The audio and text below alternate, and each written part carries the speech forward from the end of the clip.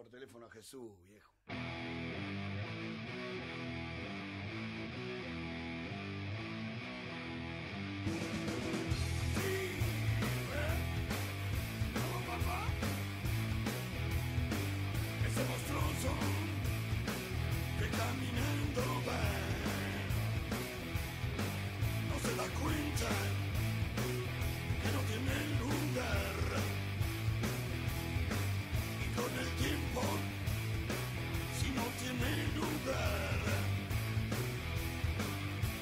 Ese monstruoso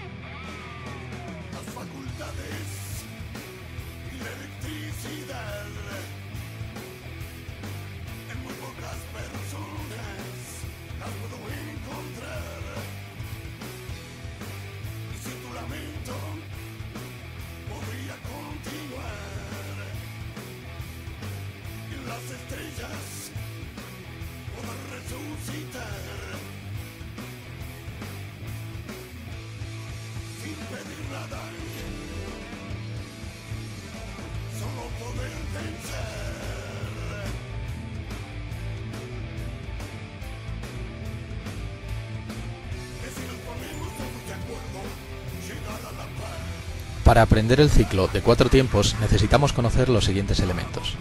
El cilindro, cuya forma le da nombre. Las válvulas, que han de ser como mínimo dos, una de admisión y otra de escape. La bujía, un elemento que, al recibir una descarga eléctrica, genera una chispa. Va ubicada habitualmente en el centro del cilindro. El pistón, que va unido a la biela. El pistón se sitúa dentro del cilindro, con la biela sujeta por su parte inferior. El funcionamiento conjunto de ambos elementos permite transformar el movimiento rectilíneo en circular, dando así vueltas al cigüeñal, representado por el círculo. El punto muerto inferior es el punto más bajo que alcanza el pistón. El punto muerto superior es el punto más alto al que llega el pistón. Se denomina carrera al recorrido que realiza el pistón entre el punto muerto superior y el punto muerto inferior. Con todos estos elementos pasamos a explicar los cuatro tiempos del ciclo Otto. Cada tiempo dura una carrera, es decir, un recorrido desde el punto muerto superior al inferior o viceversa. Esto significa que el ciclo de cuatro tiempos requiere que el pistón suba dos veces y baje otras dos, generando así dos vueltas completas del cigüeñal.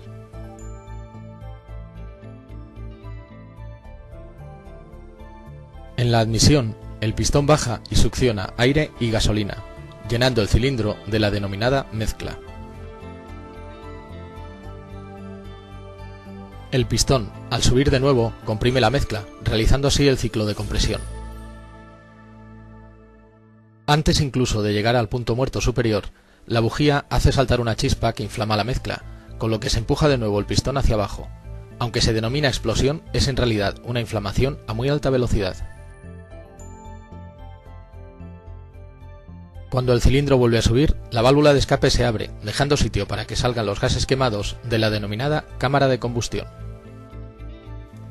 Aunque a efectos de explicación los hemos separado totalmente, los ciclos de escape y admisión coinciden durante un breve periodo de tiempo. En dicho momento, tanto la válvula de admisión como la de escape están abiertas, originando lo que se conoce como cruce de válvulas. Veamos ahora los cuatro ciclos actuando sin interrupciones.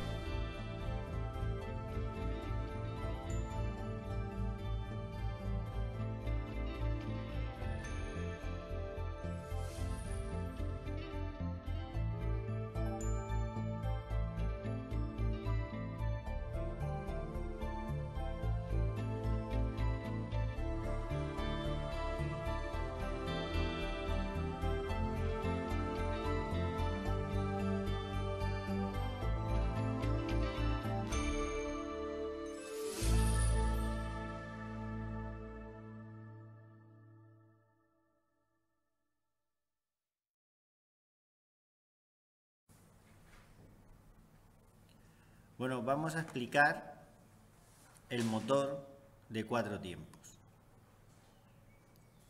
Aquí podemos ver un pistón con los elementos necesarios. Hablaremos poquito de esta parte, ¿de acuerdo? De las levas.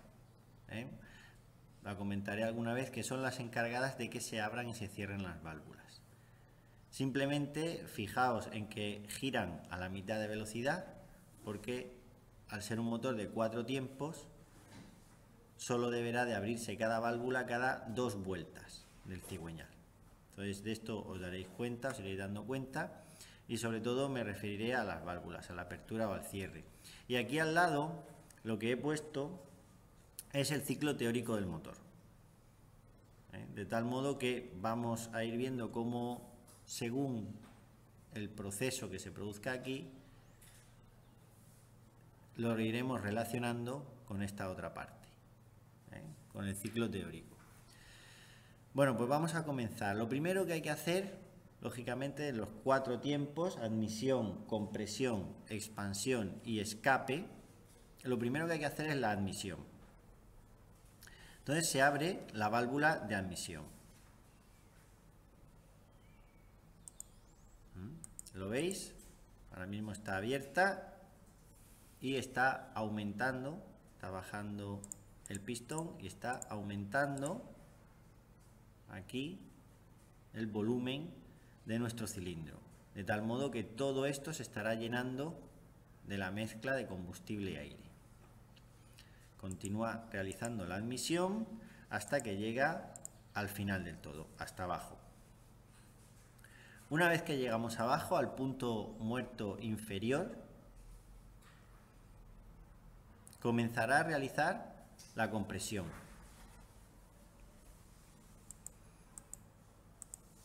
¿Lo veis? Va subiendo y la válvula se ha cerrado. Porque si se quedase abierta se saldría el combustible, lógicamente. Entonces se cierra y ahora la mezcla que hay aquí dentro la está comprimiendo. Hasta llegar al punto máximo, punto muerto superior, aquí arriba, donde se produce la ignición. La bujía hace que salte la chispa.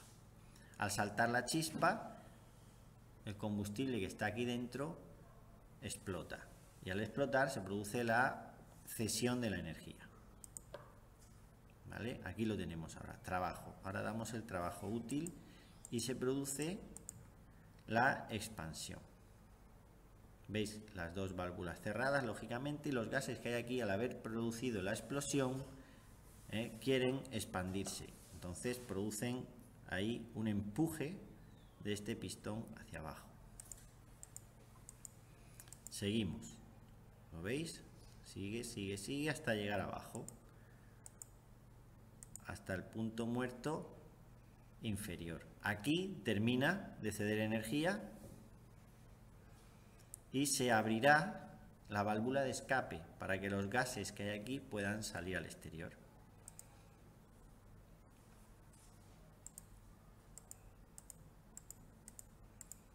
¿Veis? Mientras sube van saliendo los gases al exterior por aquí.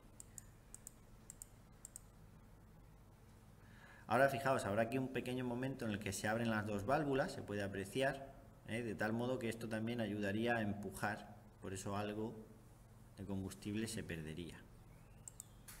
¿Mm? ¿Vale? Aquí le he dado rápido, veríamos que estamos ya en la admisión. ¿eh? Una vez que ha terminado el escape, ya empezaría la admisión. Al bajar esto, otra vez, ¿lo veis? Empieza la admisión. En los motores mm, más antiguos que tenían carburador y eso simplemente, ya veis que la admisión, bueno, eh, en los antiguos y en todos, la realiza, lo, que, lo que esto hace es una presión negativa y por aquí entra el combustible. ¿De acuerdo? La diferencia entre los que tienen inyección y los que no, aquí no es necesario comentarlo. ¿vale? Este es el funcionamiento básico. Y ahora lo que, lo que vamos a hacer va a ser comentar esto mismo ¿eh? que os he explicado, solo vamos a verlo en este ciclo teórico. ¿Qué es lo que ocurre?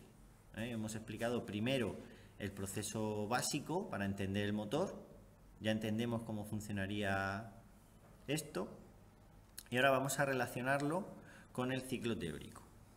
Entonces, igual, empezamos con la admisión. ¿Vale? Realizamos la admisión. ¿eh? Y si os dais cuenta, llegamos hasta el punto muerto inferior. Y todo esto se llena de combustible. Una mezcla, ¿no? Mezcla de combustible y aire. ¿Dónde estaríamos en el ciclo teórico? Pues mirar, estamos aquí que es un, un momento de volumen mínimo, volumen mínimo, estábamos aquí arriba, ¿vale? El volumen es mínimo y se desplaza hasta aquí, donde el volumen, lo veis, ha aumentado hasta el máximo, ¿eh? ¿lo veis? Se produce hasta el máximo, aquí aumenta el volumen al máximo, y nada más, no se produce ninguna variación en presión, porque veis que esta otra ¿eh? Aquí tendríamos la presión y aquí tendríamos el volumen. Veis que aquí no se produce variación porque efectivamente es presión atmosférica. Vamos a pensar en un motor sencillo, sin turbo ni nada. Presión atmosférica, presión constante.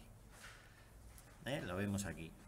Una vez que llegamos aquí, que ya tenemos hecha la admisión, ya sabemos que lo que nos toca es la compresión. ¿Qué es lo que hace la compresión? Pues vamos a seguir mirando. Mirar qué sencillo de entender es. Va disminuyendo su volumen, ¿verdad? Pero la mezcla está aquí dentro. Por lo tanto, a la mezcla le estaré aumentando su presión. Entonces, el desplazamiento es este. ¿Lo veis? Disminuimos el volumen. Fijaos, aquí estaríamos en medio, estaríamos por aquí. Disminuimos el volumen y aumentamos la presión. Seguimos aquí. hasta que llegaría.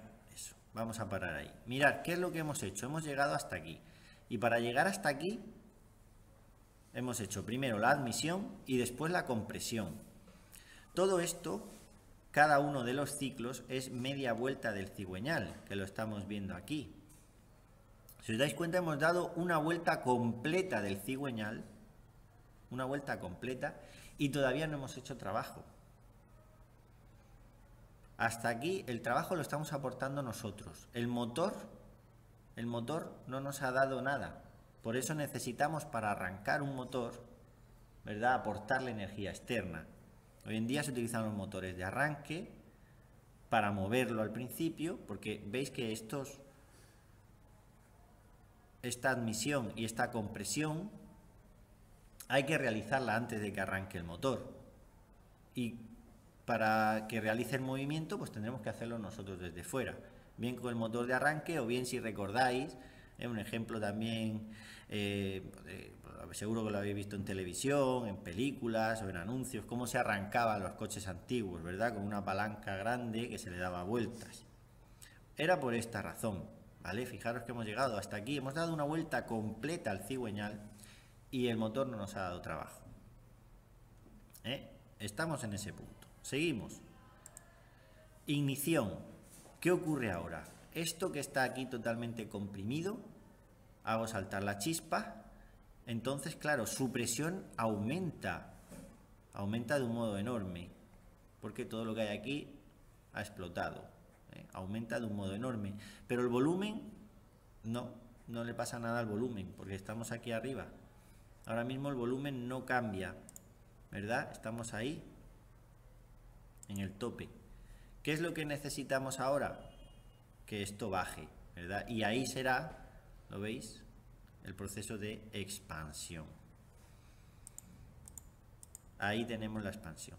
¿Lo veis? Estos gases empujarán el pistón hacia abajo. Aquí tenemos cómo lo van empujando. Y claro, ¿qué le ocurre al irlo empujando? Pues al irlo empujando, el volumen cambia. ¿Veis cómo cambia? Se hace más grande. Y la presión, lógicamente, también cambia. Al haber más volumen, habrá menos presión. Ahí tenemos la expansión. ¿Lo veis? Llegaríamos hasta abajo, otra vez hasta el punto muerto inferior, donde estaríamos aquí, ¿eh? después de la expansión. ¿Qué nos queda después de la expansión? Tenemos gases aquí dentro, después de la explosión, que no me sirven, pues habrá que echarlos. ¿Verdad que sí? Se abrirá esta válvula, ¿lo veis? Y aquí estoy en ese punto porque estoy en el punto muerto inferior y lo único que hace es abrirse la válvula. Al abrirse la válvula, la presión rápidamente bajará, porque toda la presión que hay aquí dentro se escapará por ahí. Vamos a ver un poquito más, ¿veis cómo se abre? En el escape. Y además, no solo esto. ¿eh? Al abrirse la válvula, baja la presión de golpe y se queda aquí, a la presión atmosférica. Ahora, ¿qué ocurre? Todo esto sigue teniendo gases. Bueno, pues, ¿qué habrá que hacer? Seguir echándolos. Subimos hacia arriba. ¿Lo veis? Y aquí ahora estamos en el escape. ¿Eh? ¿Veis que esta misma línea va en los dos sentidos, verdad? Ahora hacemos el escape para llegar hasta aquí hasta llegar al final, donde termina de echar los gases y ya se abre otra vez, ¿veis? llegaríamos a este punto, se abre otra vez la válvula de admisión. ¿Vale? Bueno, espero que lo hayáis entendido. ¿eh? Yo creo que no me he saltado ningún paso. Está todo el ciclo teórico explicado y al principio pues ya veis que he explicado solamente esto. Las levas ya os dije que no me iba a parar mucho en ellas, pero si lo vais observando vosotros el vídeo, podréis ver que cómo giran, ¿eh? cómo se produce ese giro más lento que os había comentado.